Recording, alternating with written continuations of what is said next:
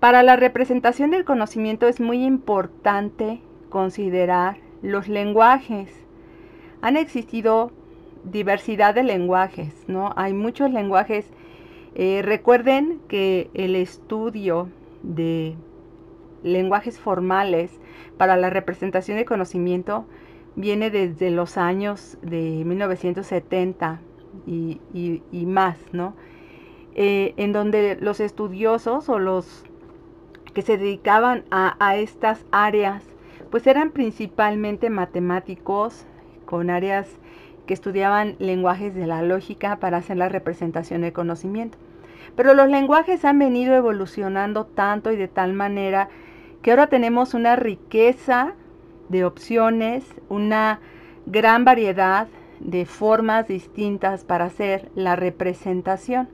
Entonces vamos a ver entre los lenguajes, estos ya son eh, los actuales, ¿no? los lenguajes recientes con los que ya estamos haciendo representación del conocimiento.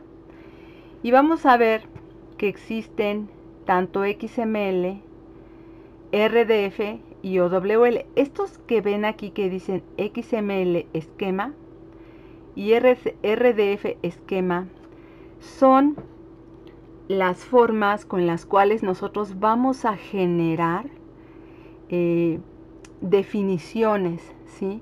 La definición de lo que un lenguaje puede hacer. Permítame un momento, por favor.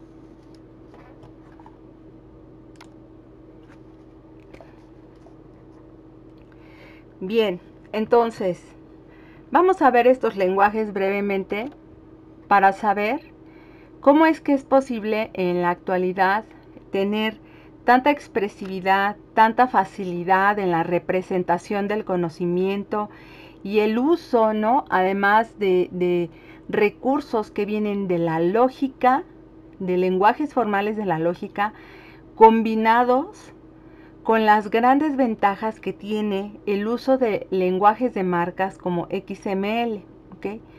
Entonces, primero vamos a recordar que XML es un lenguaje de marcas. XML, como lenguaje, vamos a ver que tiene una eh, similitud, por lo menos en las siglas, ¿no? Con lo que es el HTML. ML significa Markup Language o lenguaje de marcas. Eso es ML.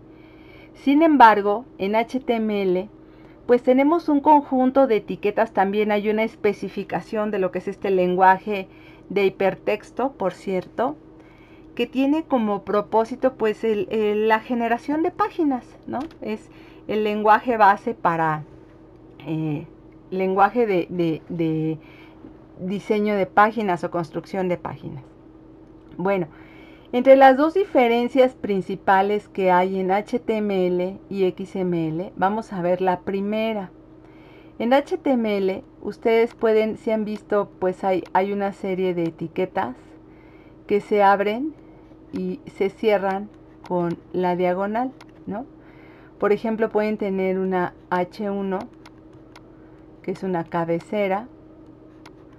Luego pueden tener una P, P cerrando y también pueden tener la que cierra la H1 eh, con, con una cabecera gigante, por cierto. Bueno, en HTML ustedes pueden hacer cosas como de que abren una etiqueta y no la cierran. De hecho, pueden incluso no tener varias etiquetas a lo largo de todo el, el documento, pero como HTML es un lenguaje interpretado, el navegador, cualquier navegador, lo que hace, pues el navegador siempre es un intérprete, ¿sí? Entonces como es un intérprete, va a ir línea por línea representando lo que haya. Si alguna etiqueta que se abre en HTML no se cierra, de todas formas ustedes pueden tener alguna visualización o en su defecto tener por ahí alguna etiqueta, algún mensaje mal puesto, pero visualizado al fin y al cabo, ¿no?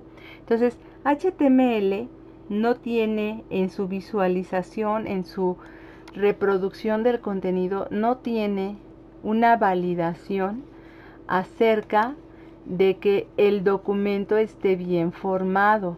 Bien formado significa que etiqueta que abren, etiqueta que cierran. Mientras que el XML, XML sí tiene requisitos. En XML, si ustedes abren una etiqueta A y luego abren una etiqueta B, primero deben cerrar la etiqueta B y por último la etiqueta A y todas deben estar perfectamente bien cerradas en el orden que van. De tal forma que XML debe de estar bien formado ¿sí? para XML esto es muy importante. Pero además para XML nosotros tenemos que tener una referencia. Cualquier documento en XML debe de ser válido, vamos a ponerle aquí, válido con respecto a un esquema. Este esquema se va a definir específicamente utilizando XML esquema. ¿Qué es eso del XML esquema? Pues es la forma, es el lenguaje con el cual nosotros vamos a definir qué etiquetas se pueden usar, con qué tipo de datos, con qué elementos, etc. El esquema en XML es precisamente el que me permite definir los los elementos que va a contener mi documento. No existe un solo documento en XML en la web que no se pueda validar con respecto a algún esquema. Por lo tanto, XML en realidad es un metalenguaje. Un metalenguaje porque permite definir lenguajes qué lenguajes nosotros hemos estado viendo que están definidos en XML. Pues OWL, OWL, XML, la sintaxis que hemos visto, existe su definición eh, con un esquema de XML, existe la definición de lo que se puede poner, eso de los data properties, object properties, el lenguaje de reglas está basado en XML. SWRL, si ustedes se fijaron ya en el código de la ontología, también es XML. Pero obviamente hay unas definiciones específicas, que es lo que da la estructura al SWRL, es un lenguaje. También RDF, XML, está definido, o sea, son lenguajes a partir de los cuales es que se implementan y se construyen las ontologías. Entonces, en XML nosotros debemos de tener documentos bien formados y debemos de tener documentos válidos. Y la validez se va a hacer con respecto a otras referencias. Si ustedes recuerdan, hemos visto esto de los prefijos, que son los espacios de nombre o referencias a iris o uris, en donde se encuentra la definición de los lenguajes. ¿sí? Aquí nosotros hemos visto la del OWL, la de RDF, etcétera hemos visto que los documentos en XML de nuestras ontologías comienzan siempre, siempre con eh, la identificación que es un documento de XML, pero enseguida ya viene si es una ontología que está hecha en OWL, si es una ontología que está en RDF, o si fuera otro tipo de recurso también, ¿no?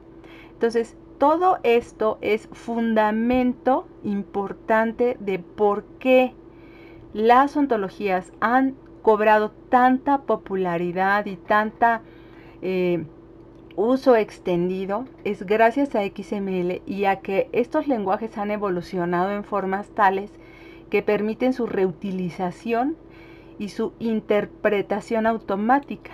Cualquier lenguaje nos permite hacer uso de ontologías que están en la web. Entonces, aquí, este, bueno, pues tenemos este ejemplo de un documento, vean, en XML. Siempre comienzan con esta etiqueta XML y su versión, ¿sí? Y luego esta parte de aquí, pues este mensaje DTD hará referencia a un esquema XML. Y bueno, pues aquí está la etiqueta que comienza y la etiqueta esta finaliza acá, en donde está mensaje. Luego tenemos el remitente, que tiene pues dos elementos, el nombre y el email. Y también tenemos el destinatario, vean, un asunto y un texto. Este es un ejemplo de un documento de XML. Y esta sería más o menos la estructura. Ahora, otra cosa importante que deben de, ver en los documentos de XML, que nosotros los vamos a poder visualizar como árboles, ¿sí? Este pueden verlo como un árbol. ¿Por qué? Porque cada una de sus etiquetas pues va a contener una serie de elementos o de tipos de datos. Los tipos de datos pues vienen en tipos de datos complejos, en tipos de datos simples o en elementos. XML tiene una definición que son los XSD types. ¿sí? Types. Estos XSD types vamos a ver que vienen en los complex.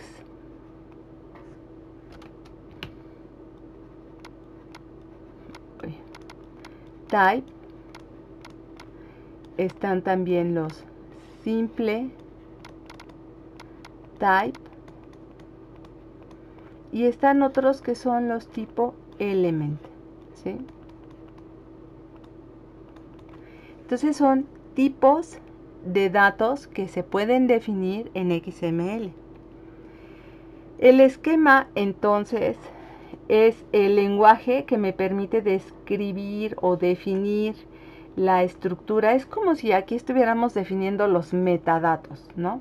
Entonces en el XML nosotros vamos a definir eh, los nombres de las etiquetas, los tipos de datos que vamos a representar en los documentos en XML, así como sus tipos, ¿no? Aquí está este ejemplo, vean, este es un esquema, este es un esquema, este esquema se llama X, Y, Z, Z, Y, ABC, ¿no? Y vean, tiene la definición de un tipo de datos complejo, comienza aquí, termina acá. Este es un tipo de datos complejo y acá hay un elemento. Y este tipo de datos complejo contiene una secuencia de elementos. No es una secuencia de ejecución, es un conjunto de elementos que tienen nombre y edad. Y el tipo de datos complejo se llama person. También hay un elemento que se llama student, que es de tipo person. Entonces, este elemento student está definido a partir de este tipo de datos complejo. Entonces el estudiante, como es un tipo persona, puede tener nombre y edad. Esta es la definición del esquema. Y en el documento, nosotros vamos a ver esto, el documento que es el XML, va a hacer referencia a este esquema que está acá. Este es el esquema. Entonces me dice que vamos a definir un student. Vean, student es este tipo que está acá definido, habilitado, Y como este student es de tipo persona, entonces puede tener nombre y puede tener edad. Entonces, a partir de un esquema en XML, a partir de cualquier esquema, yo puedo instanciar tantos documentos en XML como yo necesite. ¿sí? Estos ya son documentos, documentos en XML. Entonces estos, todos, se estarían validando con respecto a este esquema. Y todos estos pues son instancias, no son documentos posibles que se crean a partir de ese esquema. Lo mismo sucede cuando hacemos ontologías. Cuando yo hago una ontología, OWL, cualquier ontología vamos a poner, OWL, pues está refiriéndose a algún lenguaje o sintaxis. Esta sintaxis obviamente está definida como un esquema. Hay un lugar donde esto está eh, referido. Entonces tenemos diferentes ontologías, pueden hacerse en una misma sintaxis. Pero no es la única sintaxis que hay. Nosotros vamos a ver que tenemos varias sintaxis para la representación de ontologías, es decir, más lenguajes posibles, lenguajes y lenguajes que están definidos como esquema para que las ontologías se puedan representar utilizando diferentes sintaxis. ¿ok? Esto es lo importante de XML. XML es un metalenguaje a partir del cual nosotros estamos definiendo nuevos lenguajes para poder construir documentos que se validan con respecto a estas definiciones. Entonces, otra cosa muy valiosa de XML son los tipos de datos. Aquí están solamente los numéricos, pero como ustedes se han fijado a la hora de que nosotros estamos haciendo Data Type Properties, estamos viendo en los Data Type Properties que tenemos más este, tipos de datos y que además podríamos nosotros aumentar esas definiciones porque está basado todo en XML. Los tipos de datos en XML tienen el prefijo XSD. Siempre van a ver XSD definición de tipos de datos de XML. Eh, también para los tipos de datos en XML, para la definición, existen una serie de restricciones, ¿no? Pero bueno, ahorita no vamos a ver estos ejemplos. Vamos a ver el otro lenguaje. También existe RDF como lenguaje para la representación del conocimiento. Cuando comenzamos con esta sección de representación del conocimiento, les dije que íbamos a ver dos formas distintas de la representación del conocimiento, una mediante ontologías y la otra mediante grafos de conocimiento. ¿Y por qué grafos de conocimiento? Esta es la forma que han tomado recientemente eh, las, pues vamos a llamarle las bases de conocimiento, ahora están trabajadas como grafos, grafos eh, eh, y, su noción de grafo en computación, que son nodos y arcos. Pero estos grafos de conocimiento están especialmente casados con el lenguaje RDF.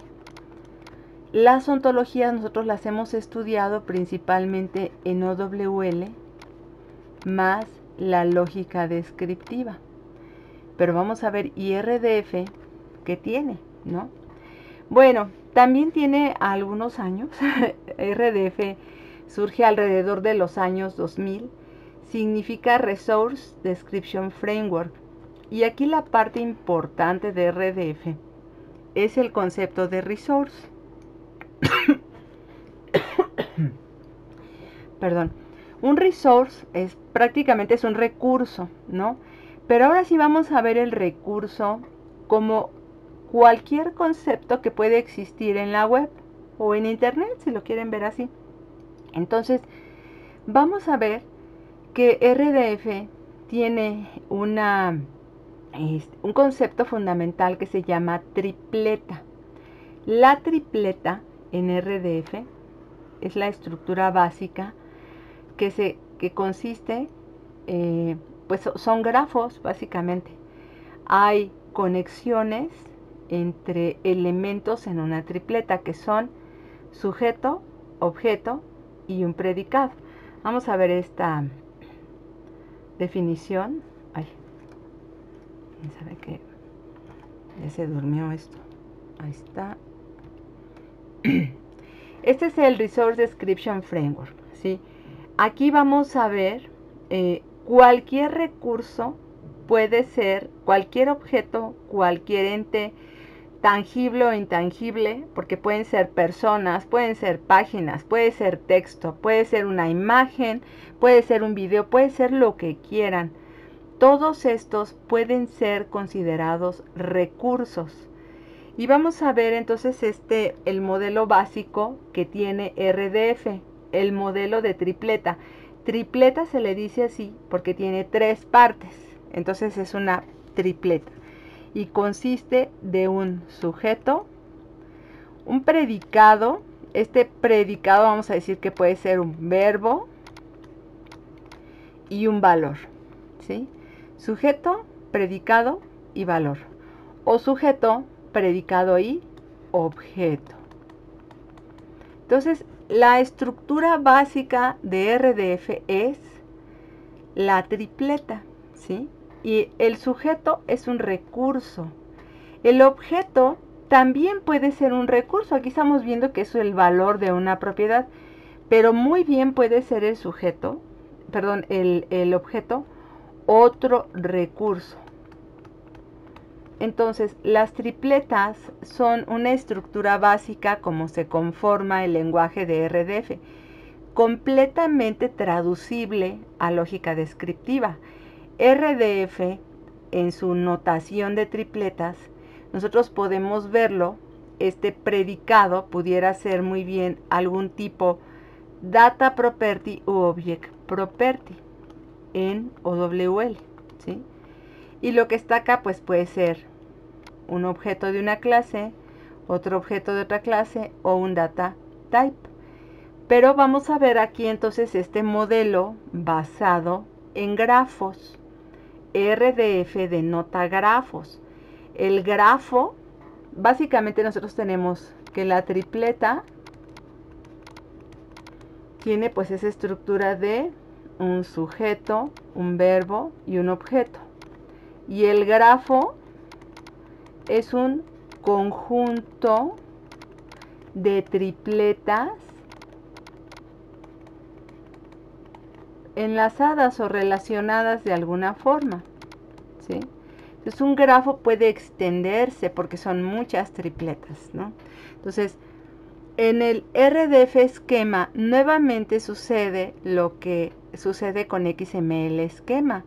RDF esquema me permite definir las propiedades, las clases, toda la definición de lo que nosotros vamos a modelar en el grafo, en el grafo de conocimiento. Entonces, también aparece este elemento que me permite decir que tal objeto, que tal clase es de tipo individuo, ¿no? O es una subclase de algo. Necesitamos RDF esquema para hacer las definiciones que nosotros estuvimos haciendo eh, de una forma muy sencilla en OWL Aquí pues vamos a tratar de comprender por qué aparece RDF esquema. Este es un lenguaje que me permite crear las definiciones de las jerarquías de clases, de las data type properties, de las object properties, etc. RDF esquema es equivalente a lo que es el XML esquema, pero RDF esquema es particular para poder construir modelos pues basados en RDF. ¿ok? Y OWL, que vamos a ver brevemente, que nosotros ya lo trabajamos. OWL es la evolución de todos los lenguajes, ¿no? OWL incorpora a RDF esquema. Vean, o sea, no parte de la nada. OWL sí incorpora RDF esquema, pero está principalmente basado en un conjunto de lógicas descriptivas. En la versión anterior de OWL teníamos pues como tres sabores de OWL, que era el full, el de lógica descriptiva y el light, ¿no? El que más usábamos pues era este. Pero surgió OWL 2.0 y en OWL 2.0 pues se especializa el tipo de uso que se le dan a las, a las ontologías. De tal forma que hay ontologías que están orientadas a hacer, a que se hagan consultas y hay ontologías que están orientadas a que se definan reglas. Y por supuesto L, que es para lógica descriptiva.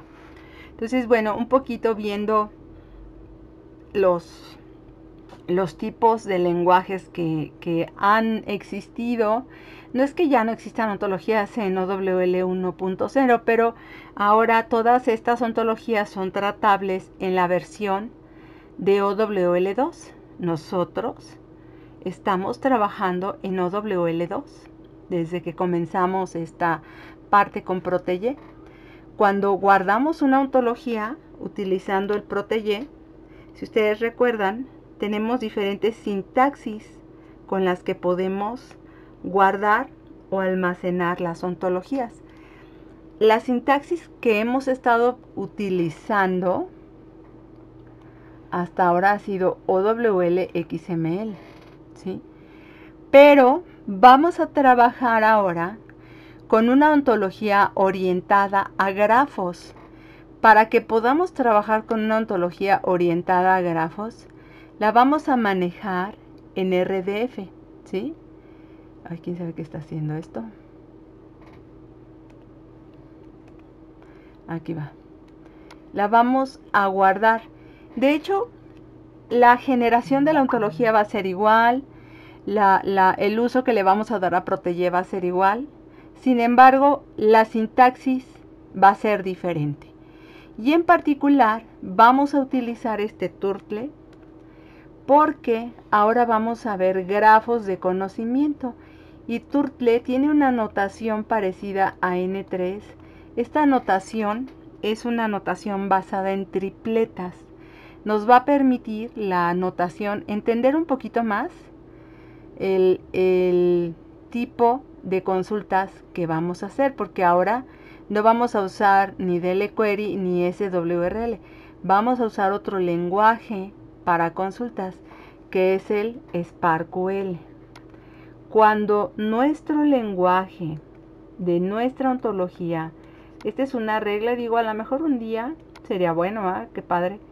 Eh, cuando la sintaxis, vamos a poner la sintaxis de la ontología o de la base de conocimiento que estemos utilizando esté en OWL XML, les recomiendo que utilicen SWRL para consultas o DLQuery para trabajar con esta sintaxis. Pero si su sintaxis está en RDF, porque hay muchísimos vocabularios en internet que nosotros vamos a ver. Bueno, no vamos a ver tantos, vamos a ver un ejemplo. Entonces yo les recomiendo que utilicen SparkQL. Este es un lenguaje SparkQL que nació para consultar con base en tripletas. Mientras que estos dos nacieron para consultar algo que está con base en lógica descriptiva. Esa es la principal diferencia que hay entre manejarlo como una ontología de lógica descriptiva y manejarlo como un grafo de conocimiento que está en RDF XML, ¿sí?